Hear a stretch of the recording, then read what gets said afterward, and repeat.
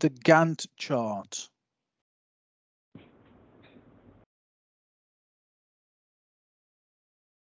So let me just make this a little bit bigger for you to see.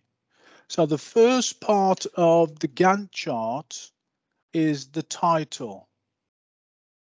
So if you go to cell D1, put your project title in, whatever that might be.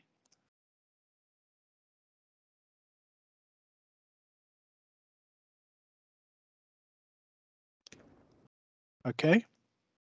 You should already have a start date of today's date.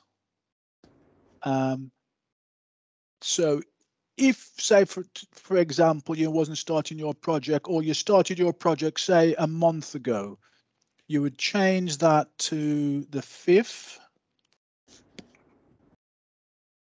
which is the 5th of May this is American so it gives you the month then the date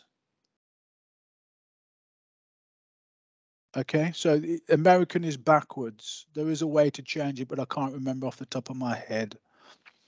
The next is today's date. Well, today's date is the 35th. No, the 1st of June. Okay, so we change this to the 1st of June. So that then becomes first of the 6th return. Now, this says display week. So this refers to what is the first week from the start date of the project. So if the start date is the 5th of the, the 1st of June, that's wrong, that's May. Oh no, we said we started last. We said we started in May. Yes, We uh, started it. Date, you need to put six after Yeah. one zero six. Okay, so we started this in May, the first of May. Today's date is the First zero six twenty twenty two.